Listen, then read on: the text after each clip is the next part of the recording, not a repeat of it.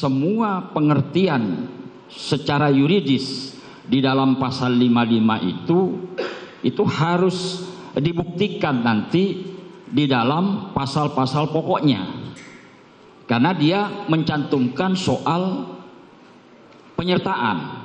Nah penyertaan ini pada prinsipnya di dalam surat dakwaan itu harus jelas benar uraian bagaimana kapasitas pelaku dan kualitas perbuatan pelaku. Itu penting. Sebagai contoh misalnya karena dia di neming pasal 55 pelaku di sini ya dia kapasitasnya sebagai apa?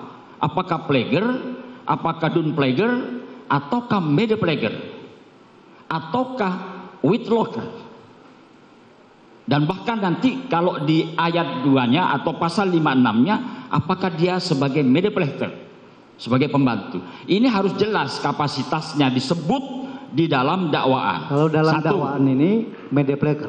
Ya, itu harus disebut. Yang kedua juga harus diurai jelas kualitas perbuatan pelaku. Kenapa? Karena ini menyangkut soal pidana dan pemidananya nanti oleh majelis hakim yang mulia.